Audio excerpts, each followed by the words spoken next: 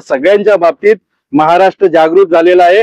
आणि येणाऱ्या काळात ज्या पद्धतीनं या सरकारने आम्हाला फसवलेलं आहे त्यांना धडा शिकवण्याचं काम या ठिकाणी आम्ही नक्की करू. काही वर्षापूर्वी आजचे दिन म्हणून जी घोषणा करत छत्रपतींच्या नावाने मत मागण्याचं काम नरेंद्र मोदी यांच्या सरकारनं केलं होतं. ते सहा वर्ष झालं. स्वतः देशाचे पंतप्रधान यांनी येऊन या ठिकाणी जलपूजन केलं होतं. त्या ठिकाणी जलपूजन करून त्या अरबी समुद्रामध्ये दोनशे कोटीपेक्षा जास्त खर्च केलेला आहे. कसं बघता येणाऱ्या निवडणुकीत कशामुळे धडा शिकवणार आता महाराष्ट्राच्या जनतेला कळालेलं आहे. आरक्षणाचा विषय असू द्या छत्रपती शिवरायांच्या बाबतीत असू द्या मराठी सम मराठा समाज असू द्या मराठा मराठी अस्मियता असू द्या. या सगळ्यांच्या बाबतीत महाराष्ट्र जागृत झालेला आहे. आणि येणाऱ्या काळात ज्या पद्धतीनं या सरकारने आम्हाला फसवलेलं आहे त्यांना धडा शिकवण्याचं काम या ठिकाणी आम्ही नक्की करू. ते सहा वर्ष झालं स्वतः देशाचे पंतप्रधान यांनी येऊन या ठिकाणी जलपूजन केलं होतं. त्या ठिकाणी जलपूजन करून त्या अरबी समुद्रामध्ये दोनशे कोटीपेक्षा जास्त खर्च केलेला आहे. छत्रपती शिवाजी महाराजच नाहीये. तर छत्रपती शिवाजी महाराजांनंतर डॉक्टर बाबासाहेब आंबेडकरांचं स्मारक असू द्या ही महत्वाची स्मारक आहेत की ज्याची महाराष्ट्राची अस्मियता आहेत. आणि यांच्याबद्दल अशा प्रकारे अपमानास्पद वाग- वागणूक झालेली आहे. कारण तुम्ही जलपूजन करता तुम्ही कुठल्याही टेक्निकल गोष्टीचा विचार न करता पुढे निवडणूक आहेत म्हणून काहीतरी आश्वासनं द्यायची.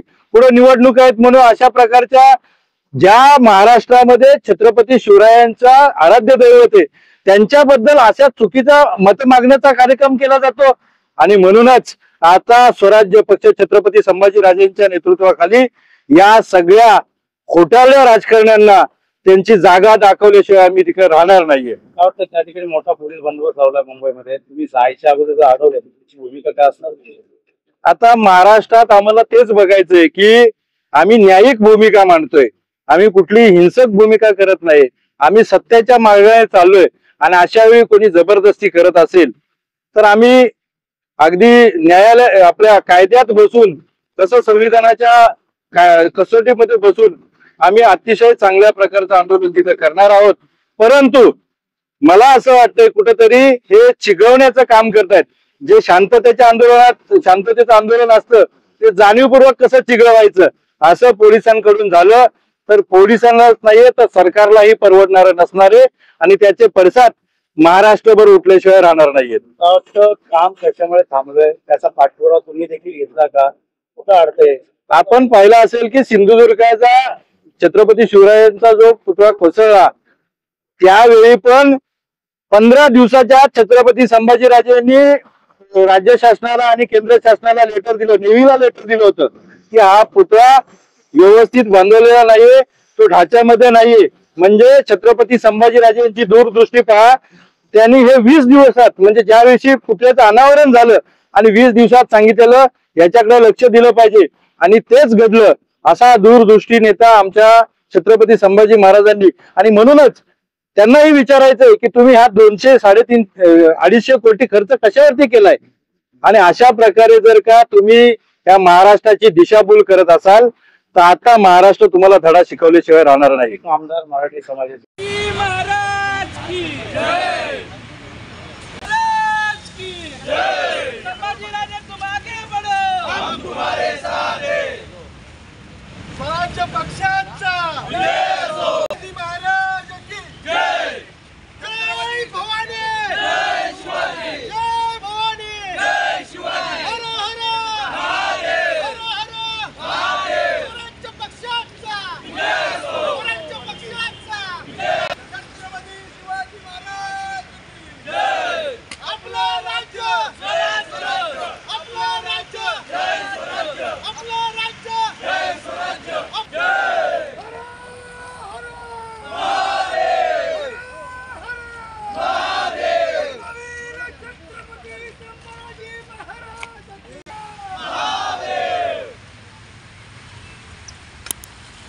മൈഡിക്കില്ല മൈഡിക്കില്ല ആ